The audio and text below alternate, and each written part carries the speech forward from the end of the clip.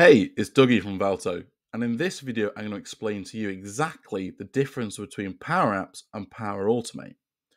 Now, before we dive into looking at some real examples of both Power Apps and Power Automate, I want to explain at a high level what the two different products are and what they're used for.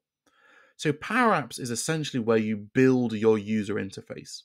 It's essentially a set of forms which can collect information it doesn't actually store that information for you. And this is something which is commonly misunderstood about Power Apps.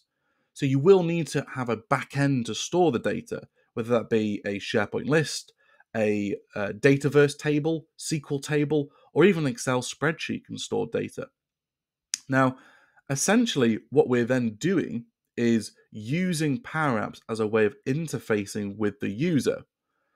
It could be through a mobile phone, it could be through a tablet or it could be through a desktop computer. But essentially, it's the user interface that's interacting and collecting information. You could also use it for a whole different set of purposes, um, like self help guides, tutorials, things like that, which we're going to take a look at in this video. Now, Power Automate is essentially the sidekick of Power Apps. And what I mean by that is think of these two as like Batman and Robin. They work really well together. Power Automate is essentially a tool that will allow you to build out workflows, whether it be approval notifications, um, pushing things uh, into applications, calculating things, um, general automation of tasks is what Power Automate does. Now, Power Apps and Power Automate work side by side together because if you think about it, Power Apps is a way of submitting the data, getting into a form, and then storing into a database. And then Power Automate picks up on that and then takes over and does the automation, whether it be approval process, notifications, or whatever it is from there. So now we understand a bit more about these different products. Let's dive in and take a bit of a look at Power Apps to start with. So this is Power Apps. Now, this is actually not a power app running in full kind of mode. It's actually in edit mode through the designer. But before we look at that, I'm just going to click on play and I'm going to play this app to show you what it is. Now, to give you a bit of context of what this app is, it's essentially a self help guide for an organization to use internally to give to their staff to work out whether or not um, that a piece of content they want to use is going to infringe on copyright law. Now, this organization was a very large enterprise organization and they use a lot of different scientific materials and they wanted to make sure that their staff weren't going to have any copyright issues. The copyright team internally had a lot of inbound requests and they were often answering the same questions repeatedly.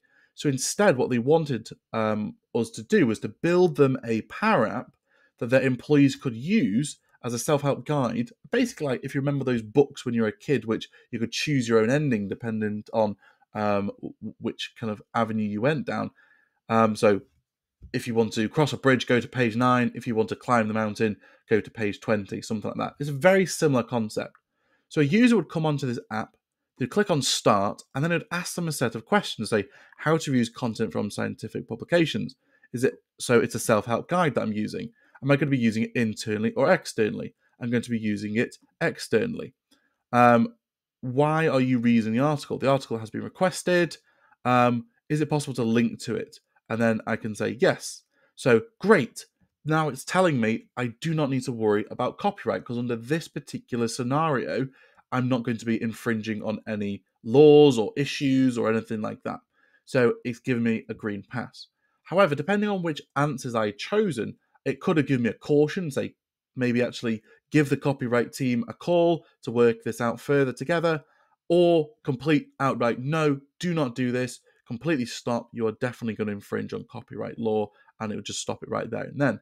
So for both of those kind of th- avenues, there's three avenues: either yes, continue, or um, no, do not do it. So those have completely cut out the need of co- of contacting the copyright team altogether because the users got their answer.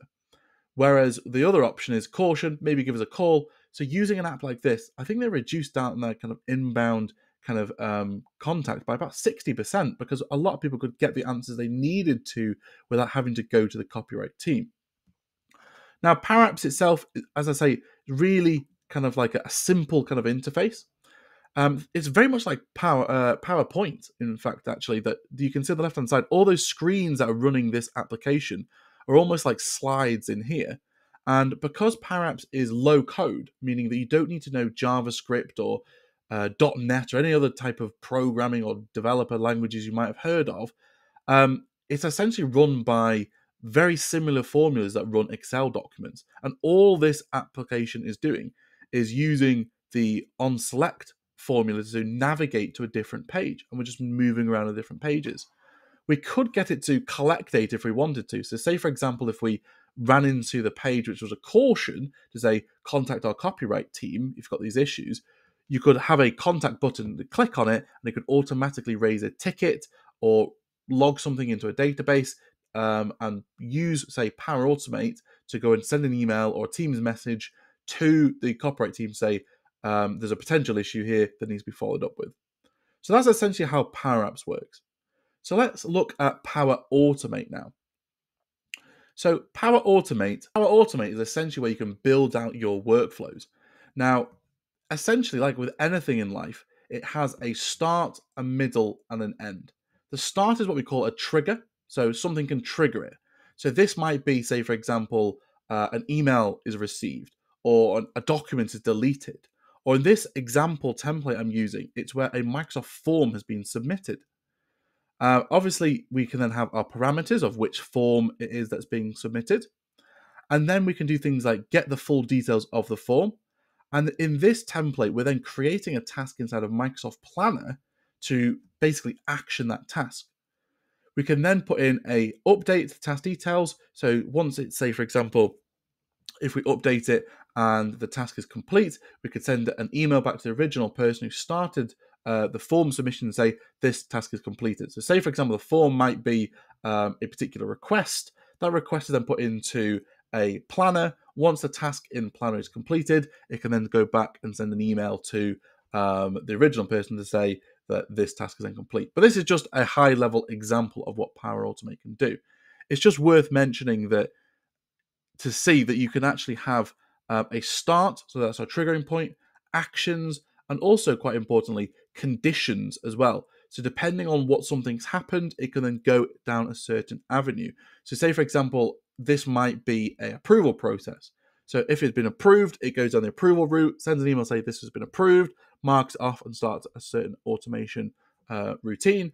Whereas if it's rejected, it goes sends back an email and says, "Sorry, this has been rejected for whatever reasons," and then the workflow then ends. So you can have that kind of like point where it's then got this pathways depending on which options are then being choose. So I hope that gives you a good understanding of what Power Apps and Power Automate can do and how they work together to build out business applications. If you enjoyed this video, please subscribe and like and leave any comments or questions that you have below. If you need any help with Power Apps, we do offer consultancy here at Valto. All you need to do is follow the link below um, to our website. There's a contact form there. Get in touch, and one of our Power Apps specialists will book in a free consultation with you to discuss your requirements. Thank you, and look out for future Valto videos.